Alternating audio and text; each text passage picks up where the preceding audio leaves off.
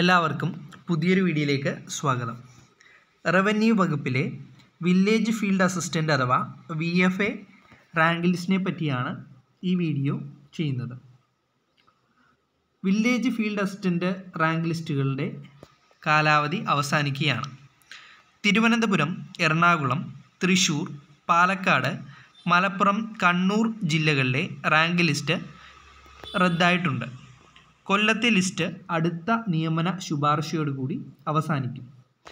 മറ്റു ജില്ലകളിലെ ലിസ്റ്റുകളും മൂന്ന് വർഷ കാലാവധി പൂർത്തിയാകാതെ അവസാനിക്കാനാണ് സാധ്യത. ലിസ്റ്റിന്റെ കാലാവധിക്കുള്ളിൽ റിപ്പോർട്ട് ചെയ്യാൻ സാധ്യതയുള്ള ഒഴിവുകൾ മുന്നിൽ കാണാതെ മെയിൻ ലിസ്റ്റിൽ ആളെ കുറച്ചതാണ് വിനയായത്.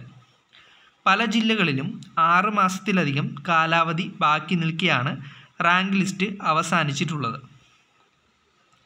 വില്ലേജ് ഫീൽഡ് അസിസ്റ്റന്റ് പുതിയ വിജ്ഞാപന പ്രകാരമുള്ള പരീക്ഷകൾ ടെൻത്ത് ലെവൽ പൊതുപരീക്ഷയോടൊപ്പം നടക്കുന്നതേയുള്ളൂ.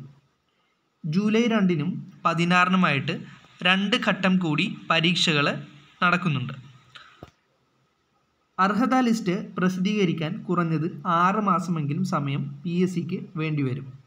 തുടർന്ന് മെയിൻ പരീക്ഷ നടത്തി സാധ്യതാ ലിസ്റ്റ് പ്രസിദ്ധീകരണത്തിന് വീണ്ടും ആറ് മാസം സമയമെടുക്കും. സർട്ടിഫിക്കറ്റ് പരിശോധനയും പൂർത്തിയാക്കിയതിന് ശേഷം മാത്രമേ റാങ്ക് ലിസ്റ്റ് പ്രസിദ്ധീകരിക്കുകയുള്ളൂ. ഇത്രയും നടപടിക്രമങ്ങൾക്ക് ഏകദേശം ഒരു വർഷത്തിലധികം സമയം വേണ്ടിവരും. ലിസ്റ്റുകൾ റദ്ദായ ജില്ലകളിൽ ഒന്നര വർഷത്തോളം റാങ്ക് ലിസ്റ്റ് നിലവിലുണ്ടാകില്ല എന്നതിനാൽ താൽക്കാലിക നിയമനത്തിനാണ് സാധ്യത ഉള്ളത്.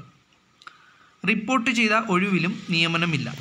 ഈ തസ്തികയിൽ റിപ്പോർട്ട് ചെയ്ത ഒഴിവുകളിലും പൂർണമായിട്ടും നിയമനം നൽകാൻ കഴിഞ്ഞിട്ടില്ല. തിരുവനന്തപുരം ജില്ലയിൽ കഴിഞ്ഞ മാർച്ച് അഞ്ചിന് പത്തൊഴിവുകൾ റിപ്പോർട്ട് ചെയ്തിരുന്നു. ഏഴ് പേർക്ക് ശുപാർശ തയ്യാറാക്കിയപ്പോഴാണ് മെയിൻ ലിസ്റ്റ് അവസാനിച്ചത്. രണ്ടായിരത്തി പത്തൊമ്പത് സെപ്റ്റംബർ അഞ്ചിനാണ് തിരുവനന്തപുരം ജില്ലയിലെ റാങ്ക് ലിസ്റ്റ് നിലവിൽ വന്നത്. അടുത്ത സെപ്റ്റംബർ ഇരുപത്തിനാല് വരെ കാലാവധി ലഭിക്കേണ്ടതായിരുന്നു. എന്നാൽ മെയിൻ ലിസ്റ്റ് അവസാനിച്ചതിനാൽ മാർച്ച് ഇരുപത്തി മൂന്നിന് നടന്ന ശുപാർശയോടുകൂടി ലിസ്റ്റ് റദ്ദായിപ്പോയി. കൊല്ലം ജില്ലയിൽ പത്തൊഴിവുകൾ റിപ്പോർട്ട് ചെയ്തിട്ടുണ്ട്. നിയമന ശുപാർശ നടപടികൾ പൂർത്തിയാക്കുമ്പോഴേ ഇതിൽ എത്ര പേർക്ക് നിയമനം നൽകാൻ കഴിയുമെന്ന് വ്യക്തമാവുകയുള്ളൂ. മറ്റു പല ജില്ലകളിലും സമാന സാഹചര്യമാണ് ഉള്ളത്. അടുത്ത ലിസ്റ്റിനും ആശങ്കയാണ് ഉള്ളത്. കാലാവധി പൂർത്തിയാക്കാതെ ഇത്തവണ റാങ്ക് ലിസ്റ്റുകൾ അവസാനിച്ചത് മുന്നിൽ കണ്ട് അടുത്ത റാങ്ക് ലിസ്റ്റ് പ്രസിദ്ധീകരിച്ചില്ലെങ്കിൽ നൂറുകണക്കിന് ഉദ്യോഗാർത്ഥികൾക്ക് തിരിച്ചടിയാകും. വിവിധ ജില്ലകളിൽ ഒഴിവുകൾ ബാക്കി നിൽക്കുകയാണ്. പുതിയ ലിസ്റ്റ് പ്രസിദ്ധീകരിക്കാനെടുക്കുന്ന കാലാവധിയിലും ഒഴിവുകൾ വരും. പൊതുപരീക്ഷയുടെ അടിസ്ഥാനത്തിലാണ് ലിസ്റ്റ് എന്നതിനാൽ ഈ ലിസ്റ്റിൽ ഉൾപ്പെടുന്നവർ മറ്റു ലിസ്റ്റുകളിലും ഉൾപ്പെടുന്നതാണ്.